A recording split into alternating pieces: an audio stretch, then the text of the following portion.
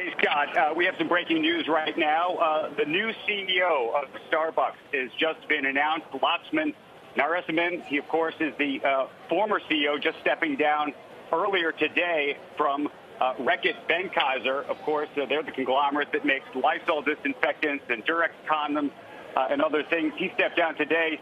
Uh, lots of speculation about where he was going to be going, saying that he was hoping to take a job in the United States. Well, we can now tell you that job in the United States is to become the CEO of Starbucks. He will begin as the CEO in uh, April of 2023. He's going to spend the next several months, we understand, uh, under the tutelage and working with Howard Schultz, of course, who's now the interim CEO of the company, who had come back uh, to the company uh, just last year uh, to try to turn it around. He's put a number of uh, steps in place to begin that turnaround process, um, and uh, now we'll be handing off the company uh, next year uh, to Laxman uh, to take on that role. Our understanding is that Howard Schultz will remain an advisor to him and uh, a board member at Starbucks as well. Um, just to give you a little bit of background, Scott, on Laxman's history, uh, spent a long time as a consultant uh, at McKinsey and Company, where he was a senior partner working in all sorts of industries for many, many years.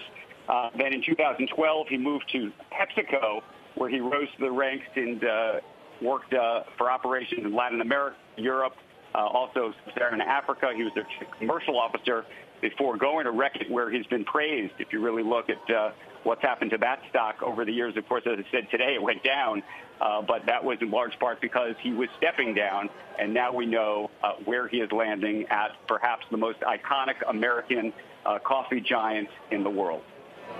Let me ask you lastly. I mean, you mentioned uh, Schultz is uh, going to stay on as an advisor. I think was the word, Andrew, that you used. Is this is this officially the beginning of the end of, of Howard Schultz having uh, anything uh, of critical importance to do with Starbucks once this transition is complete?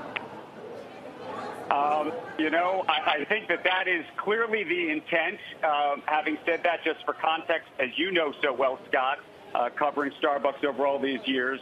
Uh, Howard Schultz has stepped down before to name a replacement, uh, only to return to the company. This is uh, they have named now uh, two different CEOs, and in, in both instances, he did come back uh, to take over. I don't believe his intent is to come back again. Um, I think they're hoping that this sticks and this works, um, and that um, he is going to take on uh, the challenges that this company now confronts. Of course, the biggest probably being this issue of uh, the labor movement uh, unionization effort that's taking place at Starbucks. That's probably going to be job one. Uh, they're mm-hmm. also, of course, grappling like everybody else is uh, with inflation and their biggest growth market, which is China, uh, still suffering from that lockdown. I knew it was kind of a loaded question when I asked you, uh, but I appreciate your answer nonetheless. Andrew, and the reporting, of course, as well.